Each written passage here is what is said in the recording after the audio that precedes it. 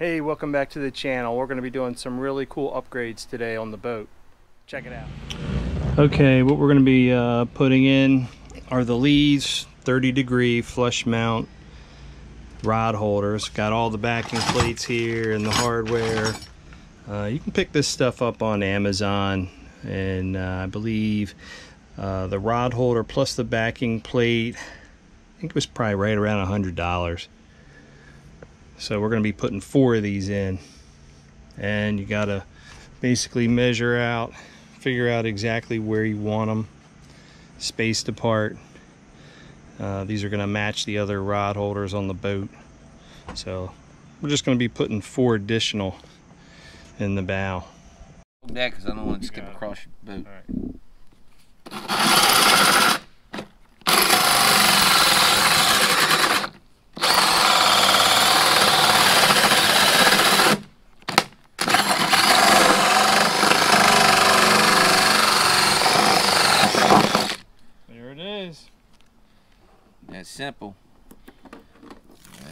Another hole. Might have to kind of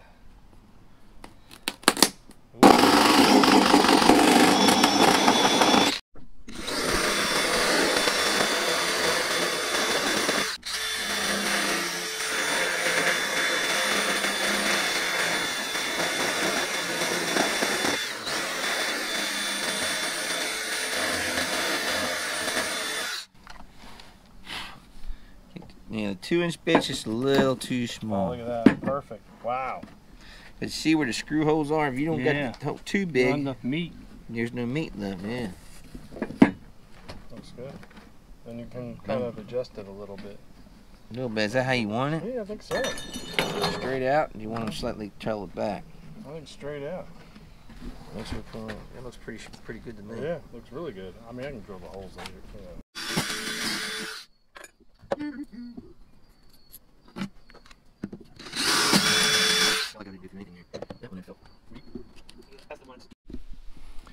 Okay, now here's what we took out of the cap. This is the thickness of the cap where we mounted the, the rod holders, and it's, it's almost an inch thick.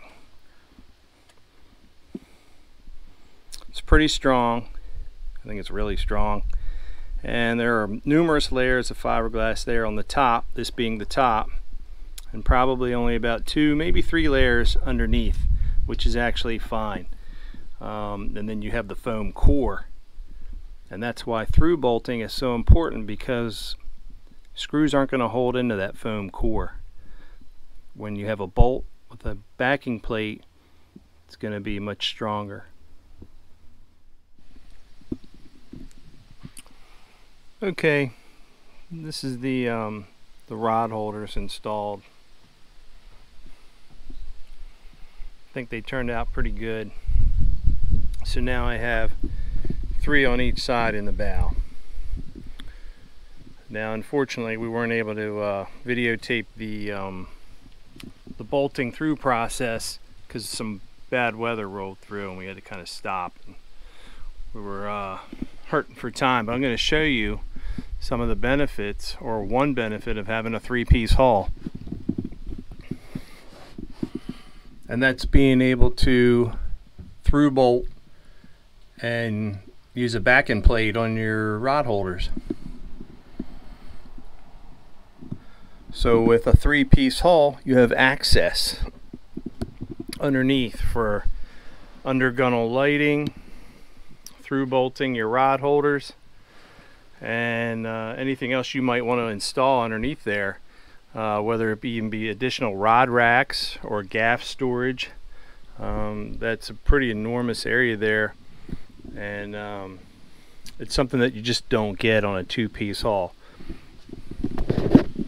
Okay, so a two-piece hull, what is that? That's the hull itself and the deck and liner. And it's bonded together at the rub rail, whether it's screws or other types of fasteners. Uh, that's basically it. Then you obviously have your center console and anything else that's mounted to your liner. Now with this boat, being a three-piece hull, I have a hull, a deck, and a cap all right and the cap is you know basically what we were drilling into this being the cap here that runs all the way around the boat. Okay, it also adds strength. And, um, you know, they're a little bit more expensive than a two-piece hull because there's more work involved in building a boat that's three-piece. So it's something to consider. You know, if you're looking to uh, get into boating, fishing, or upgrade what you have, you know, maybe consider a three-piece hull. Okay, so what Contender has done is they've bonded their cap to the hull and liner. This being the liner and the hull being on the, the outside of that. And they basically fused it all together, all right, the fiberglass, probably 1708 or 1808 mat. And they have like these stringers here. So they have fasteners up in here, if you look closely, you can see probably the ends of some screws, some fasteners, and heavy glass mat. So it's very strong, very strong.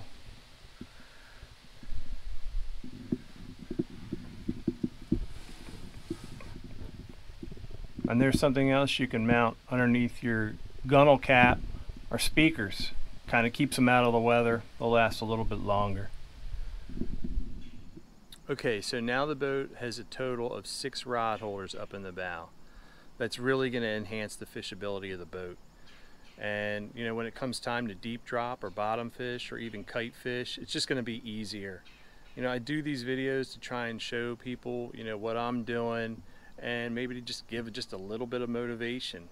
So that's mainly the purpose of it, you know. So I listen, I appreciate all my subscribers. Um, you know the channel's beginning to grow thanks to you. And um, just want to send a thank you out there. Take care